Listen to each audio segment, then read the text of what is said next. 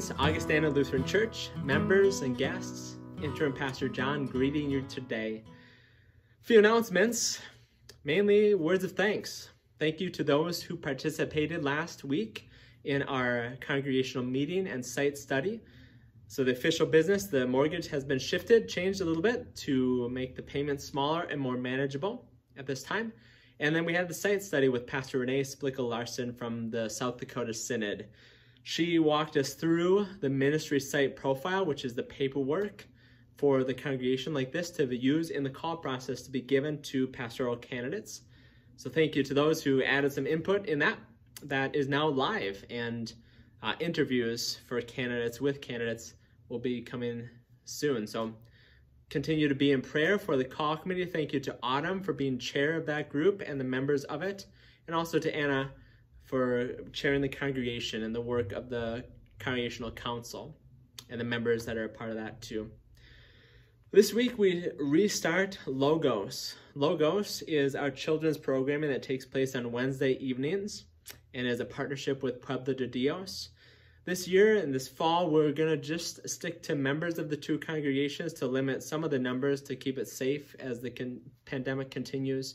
But please contact me if you have children that are interested in being part of that, or if you want to be a helper or teacher uh, with that. Again, that's going to start this coming Wednesday, the 27th. Um, yeah. Uh, thank you also to any other ways you're connecting with this congregation. I would really invite you to get connected if you're not. This is during this interim time, it's important to for the congregational council and leadership here to really gauge the interest level and the connection to this congregation. So please take this as another invitation to connect here uh, in worship in other ways. Thank you for doing that. In November, we'll have a little focus on stewardship. Stewardship is a word that we often use for money, and that's part of it, but it's really this idea of how we use the life that God has given to us as individuals and as congregation and as people in this world. So we need to refocus on that. And part of that will be uh, an estimate of giving for the rest of the year and also for 2022 as the Congregational Council and the congregation will prepare the upcoming budget for next year. So again, thank you for the ways that you participate. Also a very big thank you to Sawyer Vanden Heuvel, which is our guest preacher Today, Sawyer is a Synod staff member and also uh, is a seminarian, is on the way to becoming a pastor in the ELCA. So thank you to Sawyer. Blessings on your week. In the name of the Father, and the Son, and the Holy Spirit. Amen. Joined to Christ in the waters of baptism, we are clothed with God's mercy and forgiveness. Let us give thanks for the gift of baptism. Gracious God, you are the river of life. You are the everlasting wellspring. You are the fire of rebirth. Glory to you for oceans and lakes, for rivers and streams. By water and your word, you claim us as your children, receiving the gifts of your promise and servants of all. Breathe your spirit into all who are gathered here and into all creation Illumine our days, enliven our bones, dry our tears, wash away the brokenness within us, and drown the evil around us. Shower us with your spirit, and renew our lives with your forgiveness, grace, and love. Satisfy our thirst with your living water, Jesus Christ, our Savior and Lord, who lives and reigns with you and the Holy Spirit, one God, now and forever. Amen. Our gathering song today is a simple song, and it's in the call and response style, meaning I'll sing a line and you just repeat it back to me, a call and response. Come, let us worship God is the song.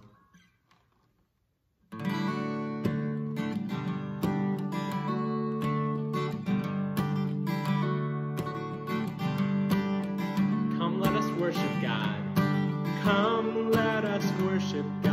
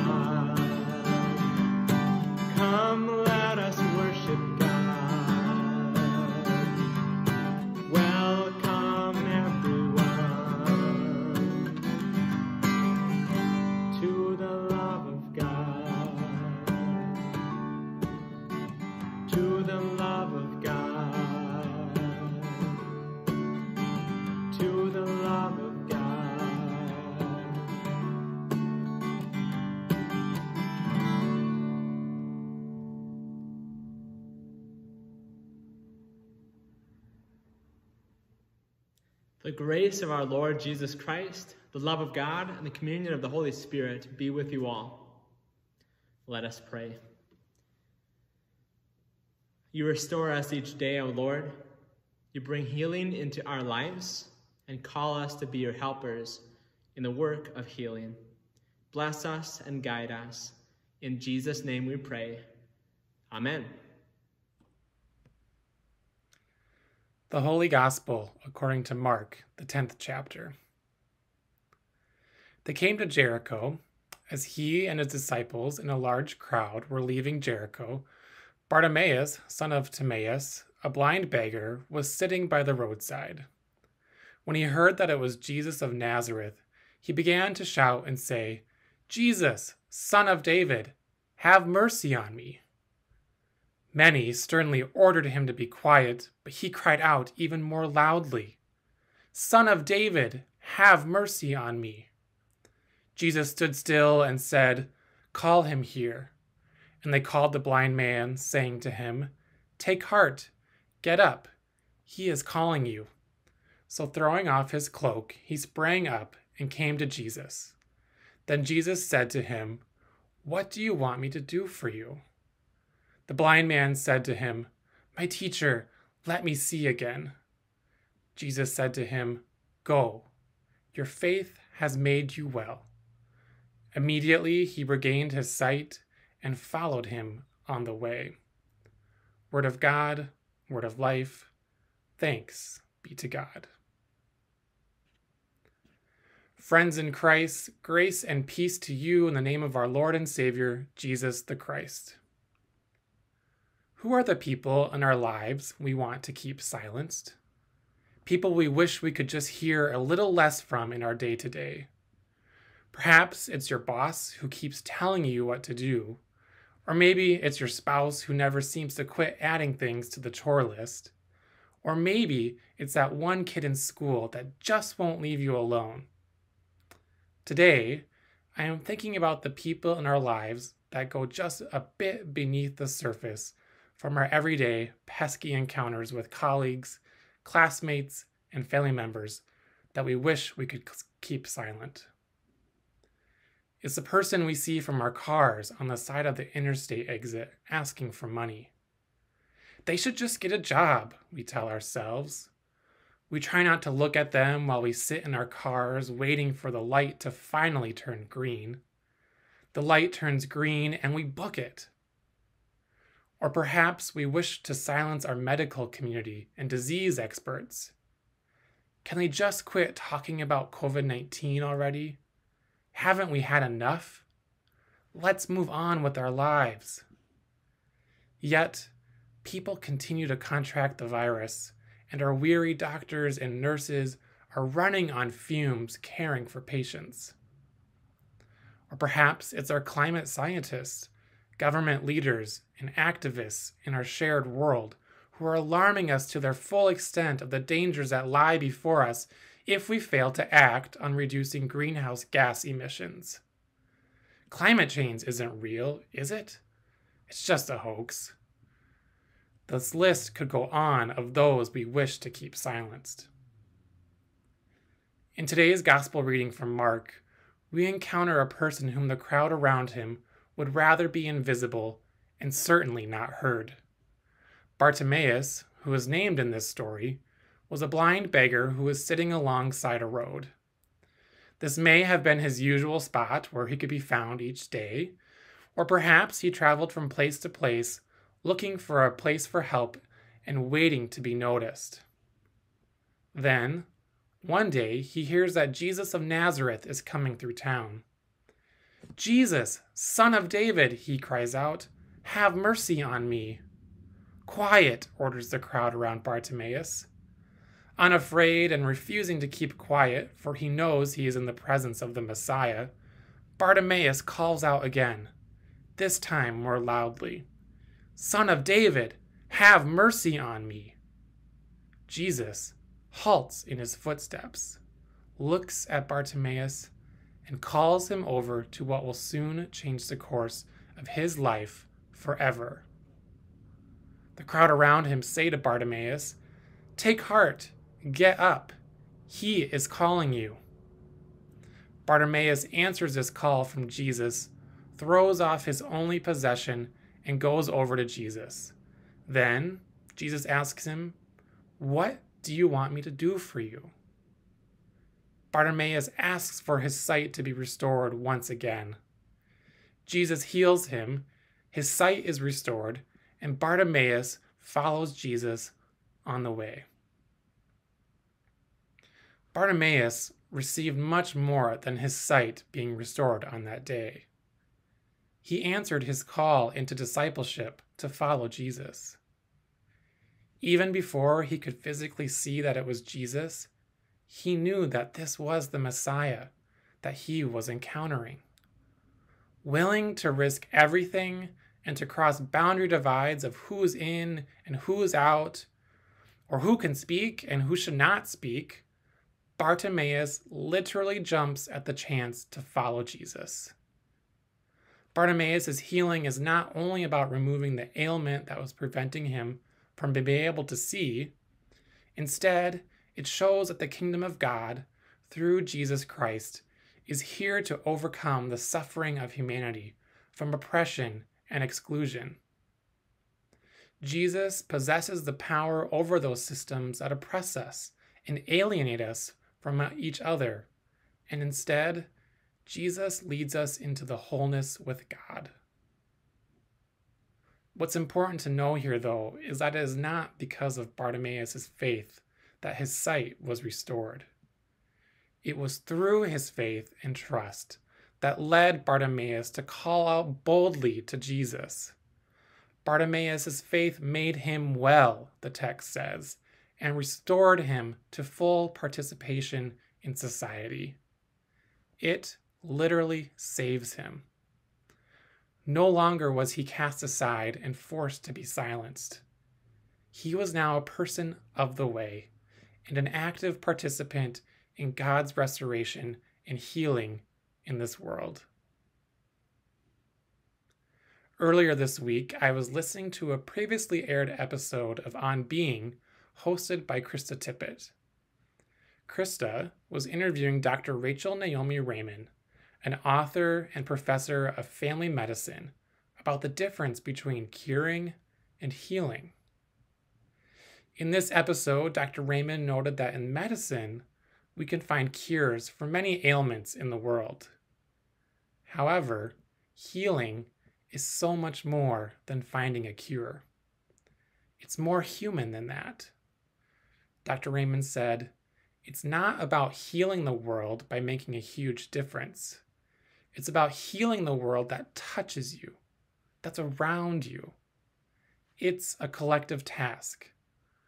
We are all healers of the world, Dr. Remen explained. Yet, we know this is hard work. Sometimes, as she noted, we all feel that we're not enough to make a difference, that we need to be more somehow, either wealthier or more educated or other, different than the people we are. It turns out we are exactly what's needed. So, how are we healers in this world? How are we exactly what someone needs today? How, like Bartimaeus, are we active participants in God's healing and restoration? These are questions I have been pondering and reflecting on this week. For me, being an active agent of healing looks like the time I am privileged of getting to spend each week with members of Augustana University's Gender and Sexuality Alliance, or GSA. This is a part of my clinical pastoral education. The GSA is a group of LGBTQIA plus persons and their allies that meet regularly on campus and provide outlets for young adults to have a safe and inclusive space for them to be their authentic selves, with no judgment or alienation from others. As someone who is a person of faith and representative of Christ's church, I was unsure of how my presence would be received due to the historical trauma the church has caused persons based upon who they love or what gender they identify. Yet, it turns out, I was called to be in the right place. Since showing up at the beginning of the fall semester, I have been able to begin forming relationships with these young adults, and they have finally just started to open up to me about questions regarding their faith and about who God is shaping them to be in the world. All because I took heart. I got up and went where I was called to be. Just by showing up in these young adults' lives, I'm able to be an agent of healing reconciliation, and love to God's people who have for far too long been forced to keep silent. Just how Jesus broke social barriers to heal Bartimaeus, we too can cross the social divides and extend a healing hand because you are exactly what is needed in this world. You are bearers of this good news today. So, friends, take heart, get up. Jesus Christ has called you to follow him. Go. Your faith has made you well. Amen.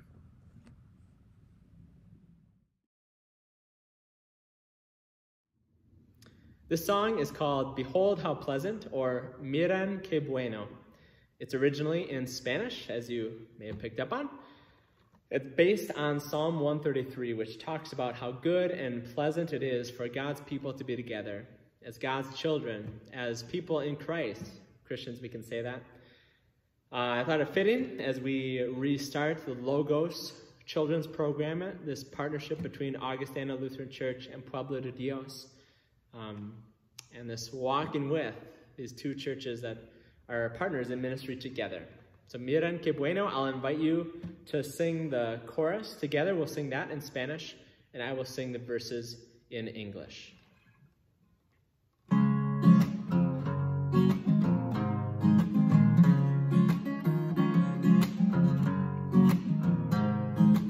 Miren, miren que bueno, que bueno es. Miren How pleasant and harmonious when God's people are together. Fragrant as precious oil when running fresh on Aaron's beard. Miren que bueno, que bueno es. Miren que bueno, que bueno es. How pleasant and harmonious when God's people are together refreshing as the dew upon the mountain the Lord. Miren que bueno, que bueno es. Miren que bueno, que bueno es. How pleasant and harmonious when God's people are together. There the Lord God bestows a blessing, life forevermore. Miren que bueno, que bueno es. Miran